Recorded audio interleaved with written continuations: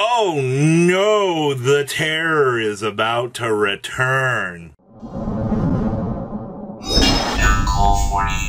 you guys smash the crap out of that subscribe button so you guys don't miss out more us content. Now, I wanted to talk about this new Master Duel ban list here really quickly because this is very interesting. So, Gandora is finally coming back to three. It is finally receiving its errata over here, which is uh, kind of interesting.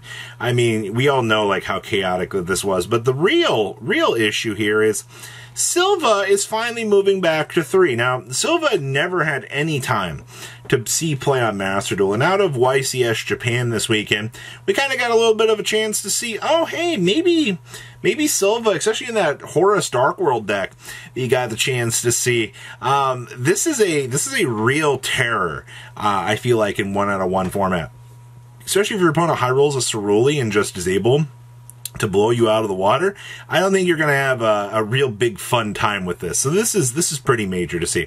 Also, we got our selection pack of the Geass of the Light. We have the Ultimate Flame Swordsman, Mr. Gandora G, uh, Nightmare Apprentice. You've also got the um, Tierra Frisia, actually. And, of course, uh, the Flowering Etoile actually coming. Uh, this, I'm actually surprised about, but this is going to be an Ultra. This is going to be hard as crap to craft. All right, very expensive. And then Chimera, Chimera. Wow, I can't believe it's taken this long to get these into the game. Of course, or this is an ultra.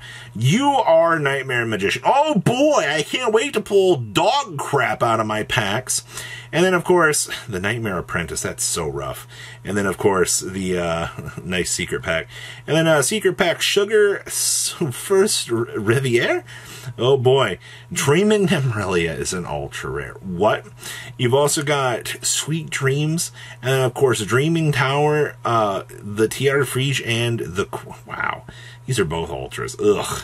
Uh, overall, I wanted to make this video and just go, well, hey, illusion, uh, fun stuff. You've got Nightmare Apprentice coming to the game finally. But the real terror is Sillva getting the chance to run around. I mean, obviously, one out of one format.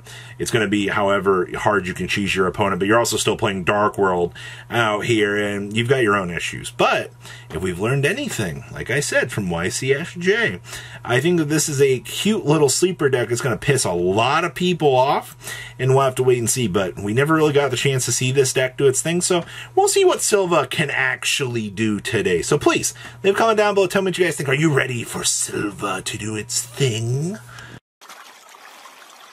Patrons, thank you.